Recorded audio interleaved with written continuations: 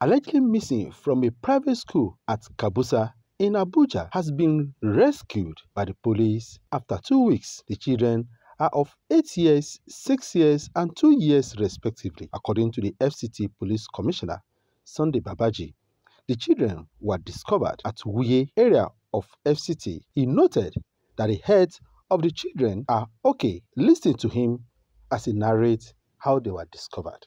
yesterday by 20 30 hours which is 8:30 our tactical men on stop and search food patrol at uh, division which is Gens village area saw these three children who were in a distress form. So they rescued them took them to the station handed them over to women police who now started questioning them.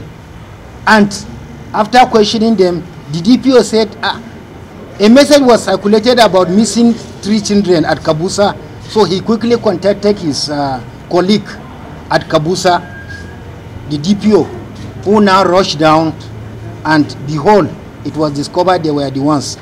So we now took them to the uh, police hospital muhammadu buhari police hospital for medical check which it has been done.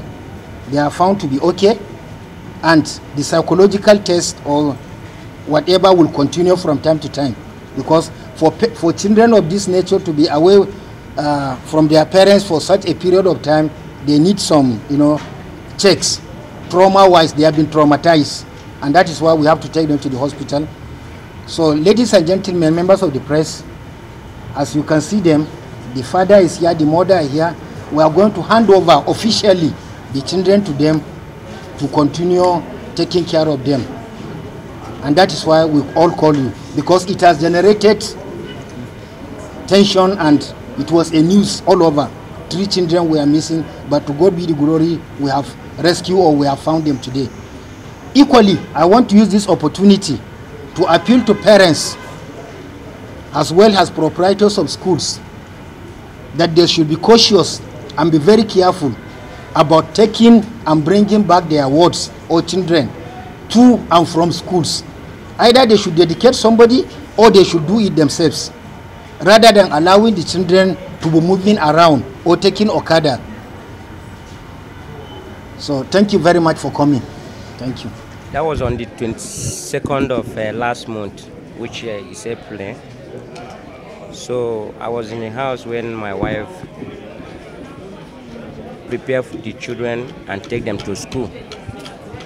So after then, I go to work.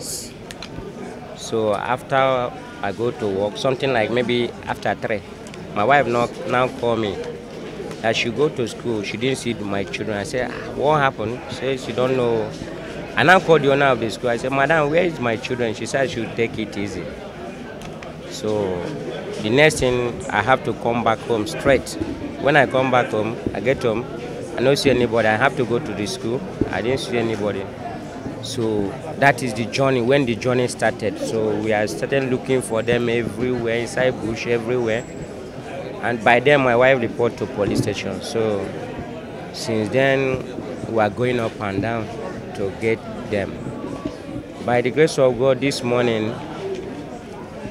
uh, I now received call from uh, Eh, eh, Wuye police station. Am I the uh, marvelous father? I say yes. Alex father, I say yes. Chinenye father, I say yes.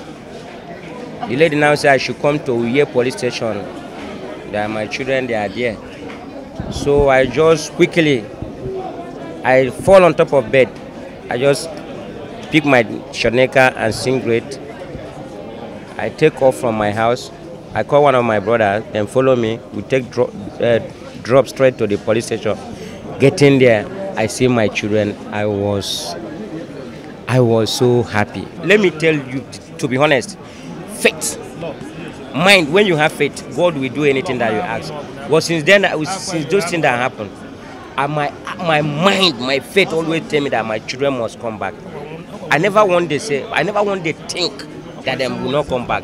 My faith always tell me that they are, and see them. You can you can see through them. So first of all, God and my faith and people. because to be hundred to so without this my children i don't think that uh, to be honest i'm not I cannot live for this world but by the grace of god god have done it for me and my family so it's not easy i didn't even pray to any of my enemy to see this type of something because it's not easy so i want to use this opportunity to thank everybody in this country, everybody that participates, both police, both individual, those that help. I want to thank them, and I say that Almighty God can never allow such thing to happen to anybody in Jesus' name. That is, one is eight years, one is eight years, two. The second one is six years. The third one is two years. Marvelous is eight years. Alex is six years. Lehabot is two years. very happy. I'm very happy. Since all these two weeks i never eat food. Water sef they are forcing me to drink water. I say i don't know whether my children are eating or not. I will not eat. But if i go home now i will go and eat eat eat. I will eat overeat. I thank god. I thank god. I thank the nigeria police for what they did for me. They Gbemiga Olamikan, GTV Africa.